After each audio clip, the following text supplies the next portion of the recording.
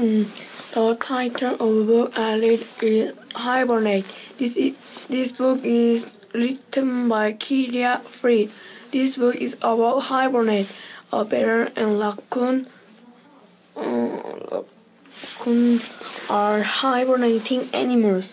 Uh, first, I learned that what hibernating animals uh, do in the spring.